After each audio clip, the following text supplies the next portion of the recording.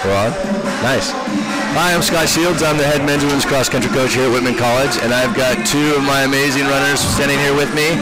Uh, we're going to fill up some halftime time, and uh, I've got a few questions for them. So first, I'd like you guys introduce yourself. Hi, I'm Emily Williams. I'm a senior environmental studies politics major. I'm Ellie Patterson. I'm a senior biology major from San Francisco Bay Area. Nice. Emily, where are you from? I'm from Saratoga, California. I love this headset, don't you? nice. Well, we've had an amazing season this year. Both our teams finished third on conference with another strong showing. Um, but we're going to take some time right now to talk about a really special event we've been doing.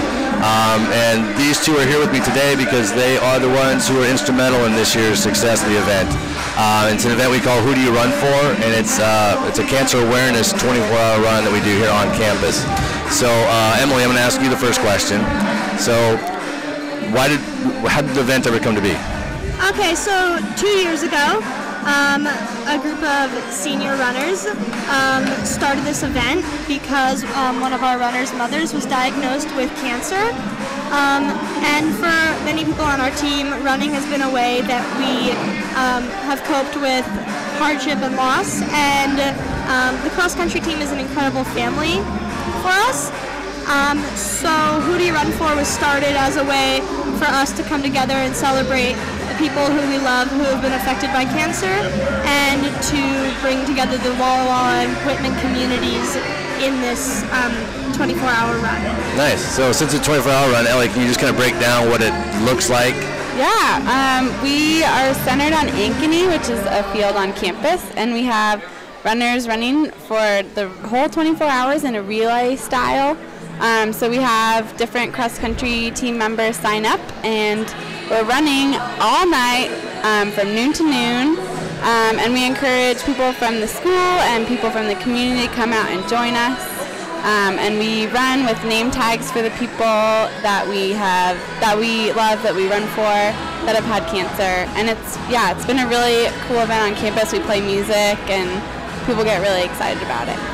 Nice. And uh, so we do a little bit of fundraising with the event. And so how much money do we able to fundraise this year? This year we raised $1,254 for the uh, Melanoma Research Foundation, which is the biggest organization in the United States for melanoma research and treatment.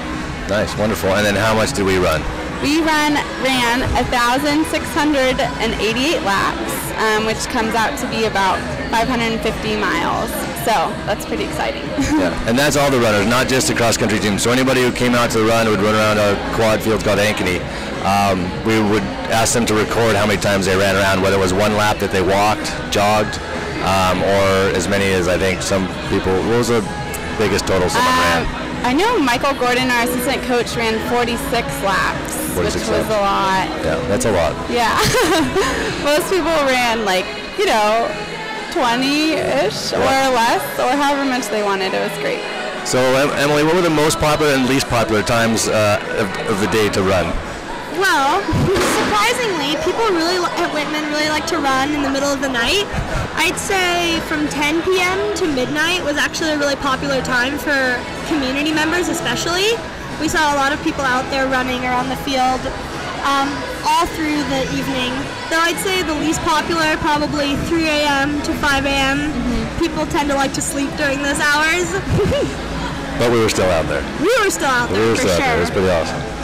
Um, yeah, so that's a lot about the event. And uh, is there anything else uh, you guys want to add about the event? Maybe the, where people could potentially go and look for the sites or Facebook? Or, Uh, yeah, we have a Facebook event. You could just search "Who do you run for?" I guess. Um, there are also a few articles written about it on the Pioneer. They wrote an article um, that kind of explains what we did and what we've been doing.